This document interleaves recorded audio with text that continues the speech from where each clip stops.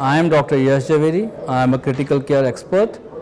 I am the secretary of Society of Critical Care Medicine Delhi. I am also the convener of Indian Sepsis Forum. Today we are going to discuss on sepsis and septic shock. What is sepsis clock? Sepsis clock is basically concept of early recognition, early source control, early antibiotics, early blood culture.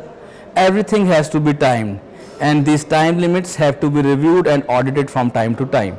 Sepsis at its inception is difficult to recognize but easy to treat. Left unattended it becomes easy to recognize but difficult to treat. That is why we need to follow this clock model for diagnosis of sepsis.